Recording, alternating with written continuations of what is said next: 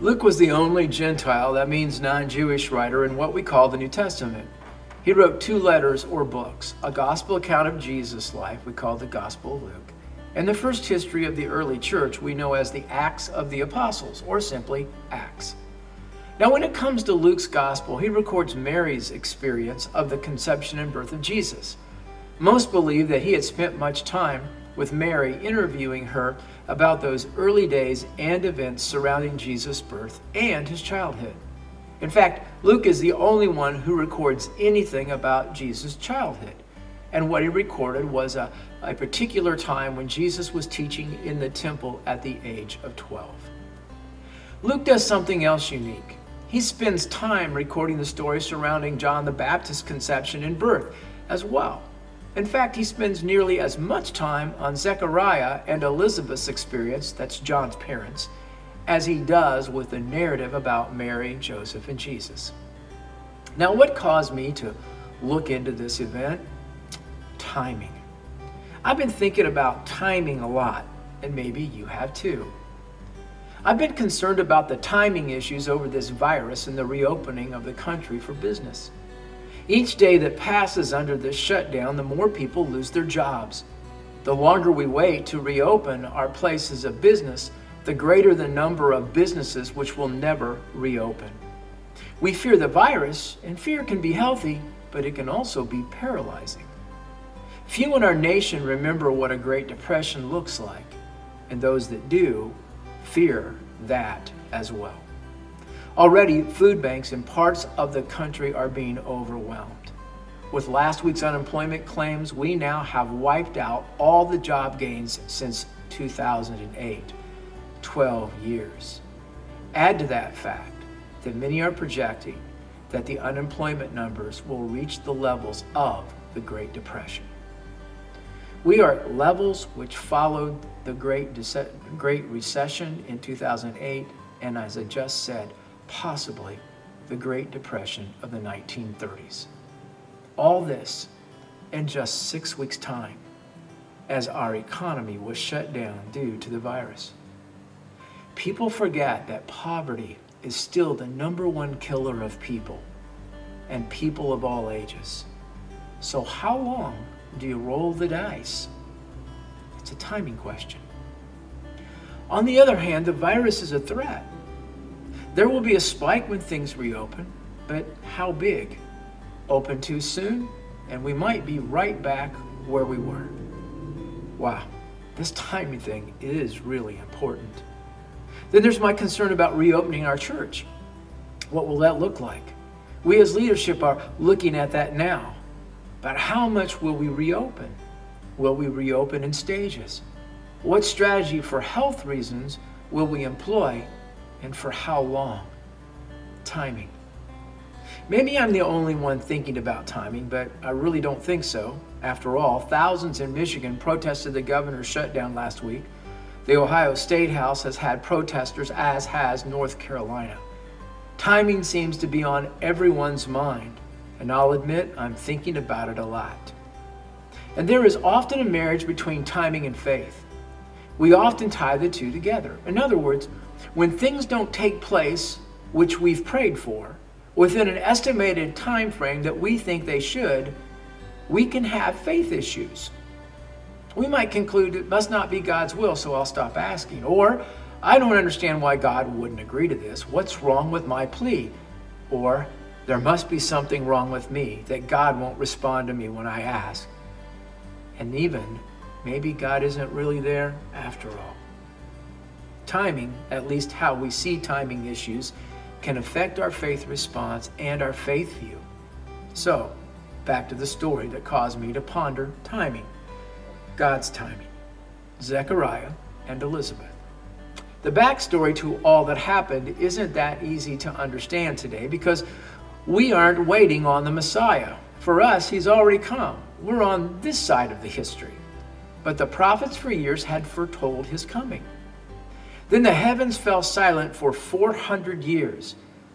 In the church world, in the theological world, we call this the intertestamental time. Um, it's just that time between the last of the prophets and Jesus coming. But it had been a trying time because nothing seemed to be happening.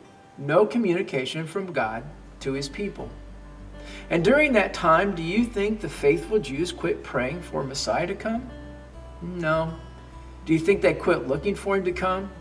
No. Do you think they kept hoping for his coming? Yeah. All those years of praying and hoping and looking and waiting, it was all about faith and timing.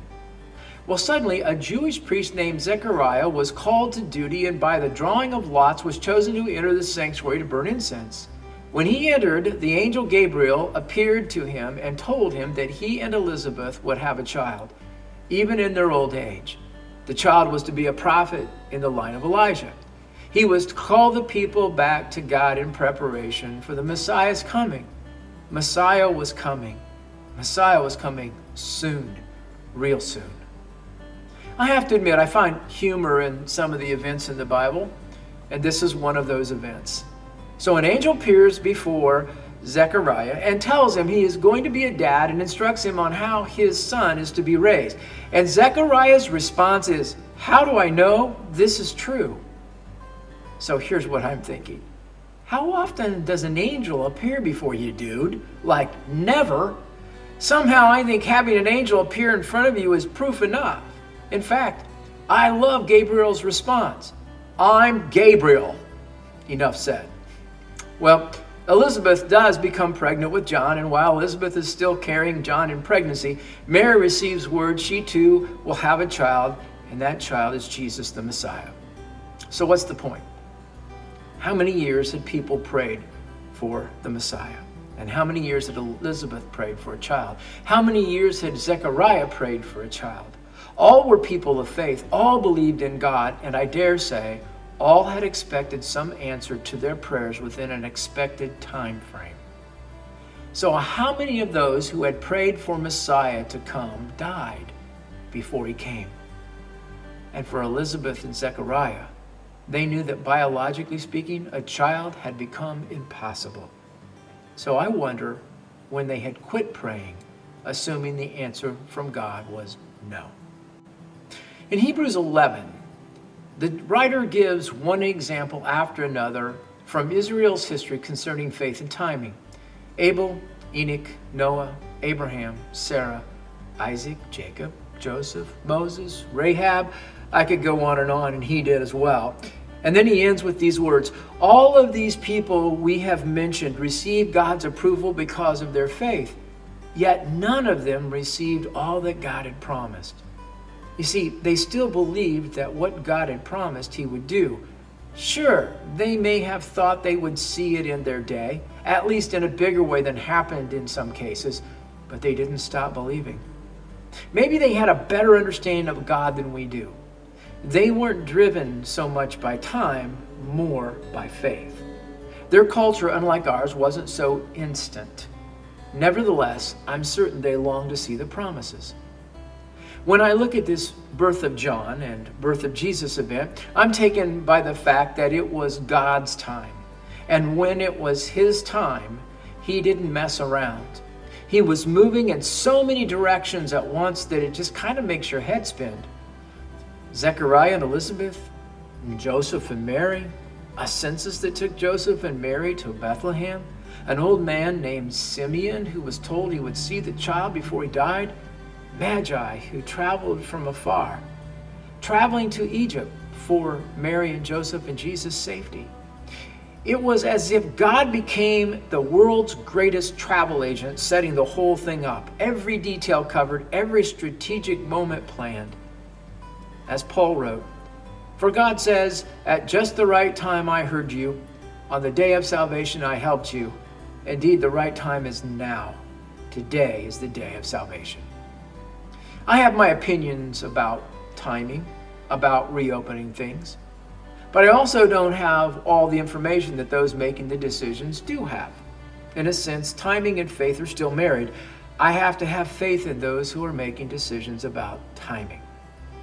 So as we pray, as we hope, as we wait on whatever it is that we have talked to God about, the same holds true. We have to have faith in God and trust in his timing.